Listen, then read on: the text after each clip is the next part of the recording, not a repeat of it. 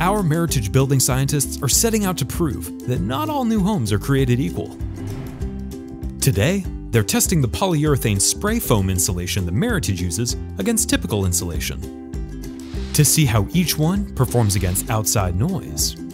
While our tone generator emits a blaring tone at full volume, we'll watch each decibel reader to see how much of that sound is able to penetrate to the interior of our test boxes. As you can see on the right, our Meritage test box registered a baseline reading of 66.5 decibels, while the box on the left comes in at 81.4 which is like a diesel train roaring by during nap time. How does it do it?